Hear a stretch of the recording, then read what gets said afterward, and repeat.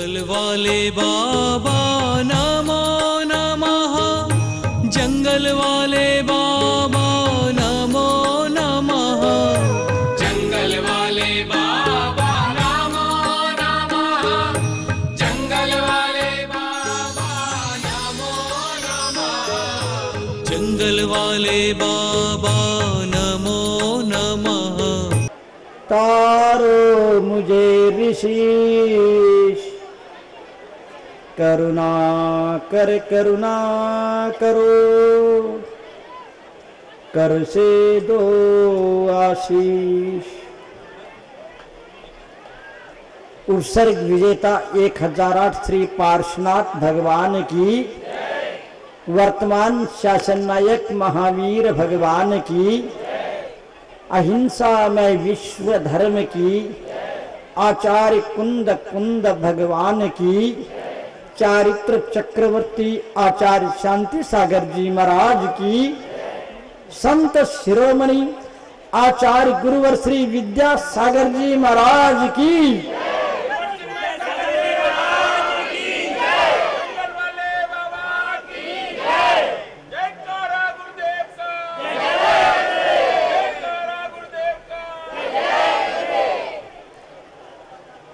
जिस प्रकार पानी का स्वभाव शीतल होता है। उसी प्रकार जीव का स्वभाव वीतरागता है, ऊर्ध्वगमन है। जीव शुद्ध निश्चय नय की दृष्टि से देखा जाए तो वह सदा शुद्ध रहता है। लेकिन व्यवहार नय के दृष्टि से देखते हैं तो वह कर्ममल से लिप्त होता है। द्रव्य कर्म, भाव कर्म और नो कर्म, इन तीन प्रकार के कर्मों की वजह से ये जीव संसार में परिभ्रमण करने लगता है। मैंने कहा था, अग्नि का स्वभाव जलनशील है, जल का स्वभाव शीतल है। जिस प्रकार जल को बाह्य निमित्त मिलते ही जल में अग्नि का संयोग होते ही वह जल गर्म हो जाता है, उबलने लग जाता है। और लेकिन जैसे ही अग्नि के निमित्त को हटा देते हैं, जिस प्रकार से हम चूल्हे में से अथवा गैस बत्ती को बंद कर देते तो चूल्हे में से लकड़ी को, जलती हुई लकड़ी को हटा लेते हैं। वैसे ही वह पानी पुनः अपने स्वभाव की ओर आने लगता है। मैं यहाँ पर जंगल की साधना लोग कहते हैं कि महाराज, अब जंगल की साधना क्यों करते हैं? मैं यहाँ पर आकर के प्रकृति के बीच में प्राकृतिक जीवन जीना चाहता हूँ, इसलिए मैं जंगल की साधना करता हूँ। बंधुओं, यहाँ पर आने के बाद मेरा ही नहीं, ये सारे भव्य प्राणियों का यहाँ पर बाह्य निमित्त नहीं है। पंचेंद्रीय विषय नहीं है। राग द्वेष और लड़ाई झगड़ा के कारण नहीं है। रागी लोग नहीं है।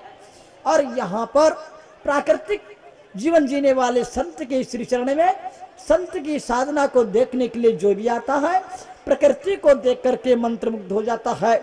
और झरने को देखते हुए झरझर झरते झरने को देख करके मंत्र मुग्ध हो जाता है।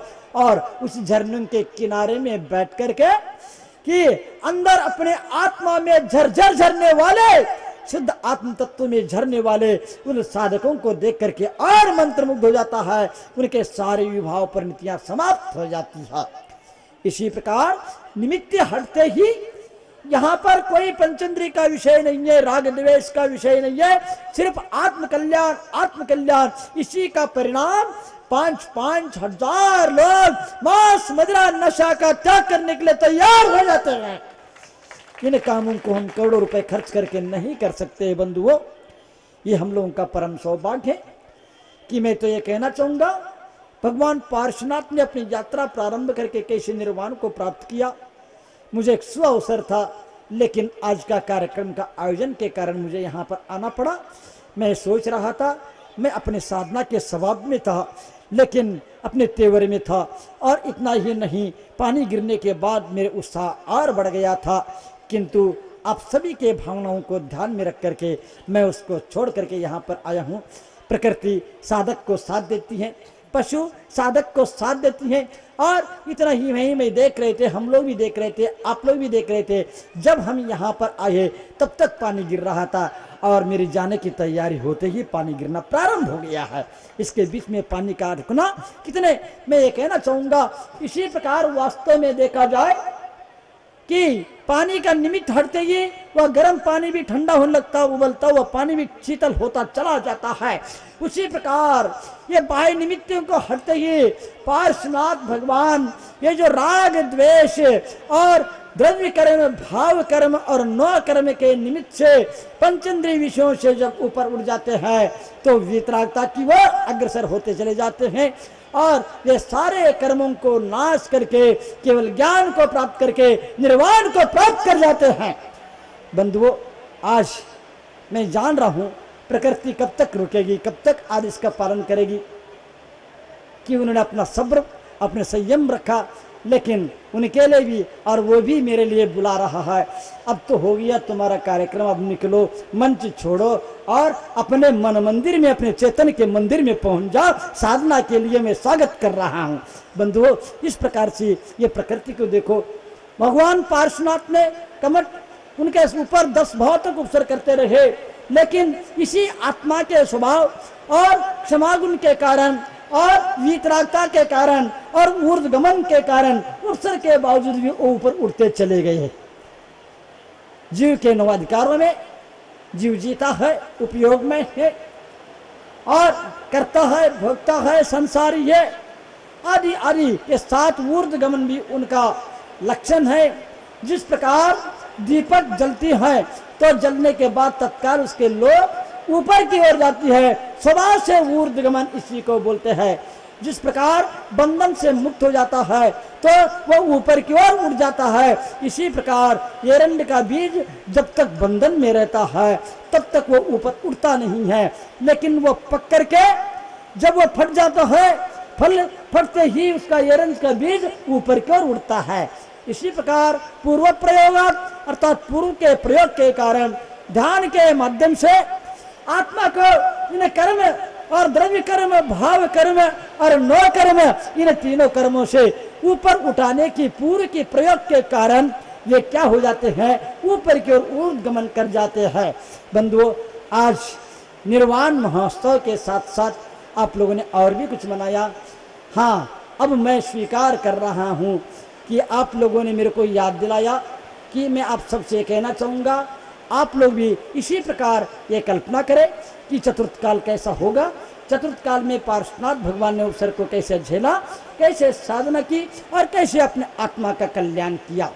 मैं यही कहना चाहूँगा आप सबके लिए कि वे अनंत काल के लिए संसार से मुक्त हो गए, अब वे कभी लौट करके संसार में नहीं आ सकते हैं।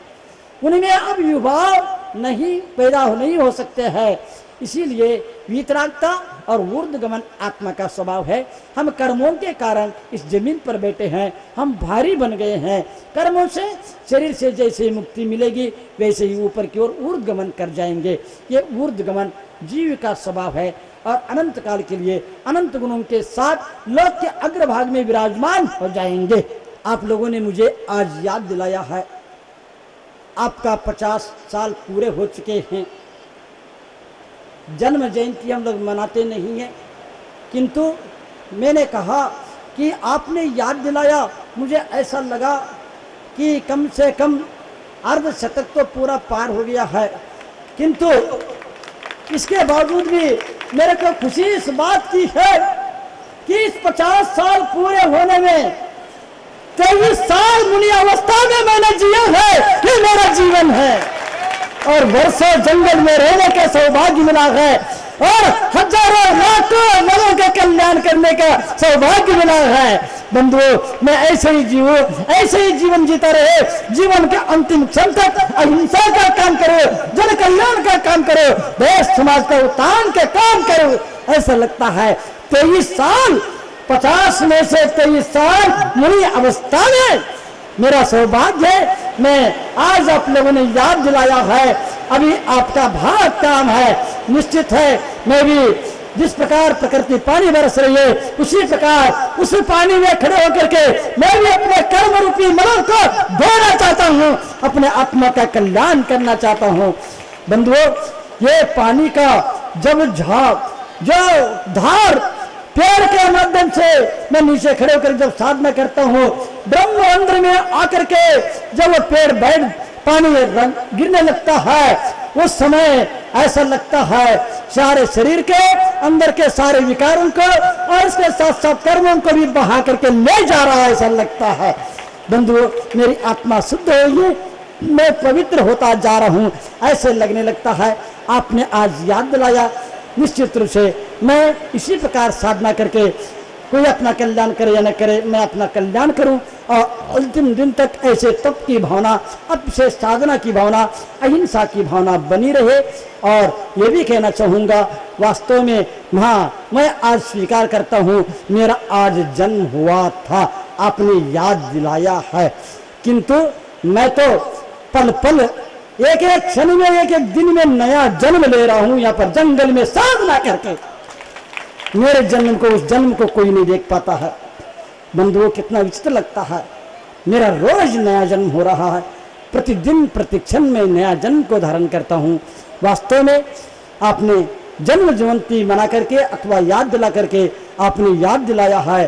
हे चिन्मय सागर, कि आप पचास साल के हो गए, संयम को धारण किया है। आपको जन्म, जरा और मृत्यु को नाश करना है। इसको आपने याद दिलाया है। इसके लिए मैं आपको धन्यवाद देता हूँ, आशीर्वाद देता हूँ। और ये भी याद रखना, जब तक हम मृत्यु पर विजय नहीं प्राप्त करते हैं। जब तक मृत्यु महोत्सव नहीं मनाते हैं, तब तक जन्म पर मात करना संभव नहीं है। जन्म जरा की मृत्यु को नाश करना संभव नहीं है। मैं इस संयम का धारण साधना करते हुए मैं ये सोचता रहता हूँ, ये अंतिम समाजी मृत्यु महोत्सव को वर करके मैं अपने जन्म को समाप्त करके मैं निर्वाण को प्राप्त करूँ। इसी भावना के साथ आप सबके लिए आशीर्वाद। आगामी आयोजनों में अच्छी तरह से इस प्रकार भाग लेकर के अपने आत्मा का कल्याण करे, कर्मों को निर्जरा करे और इतना ही नहीं, वास्तविक संसार के स्वरूप को समझे, आत्मा के स्वरूप को समझे और इसी प्रकार जिस प्रकार पार्श्वनाथ भगवान ने केवल ज्ञान और निर्वाण को प्राप्त की, इसी प्रकार तुम भी एक दिन तीनों प्रकार के कर्ममल को नाश करके आप भी केवल ज्ञान और निर्वाण को प्राप्त करे, इसी भावना के साथ अहिंसा परमो धर्म की। जंगल वाले बाबा, नमो नमः जंगल वाले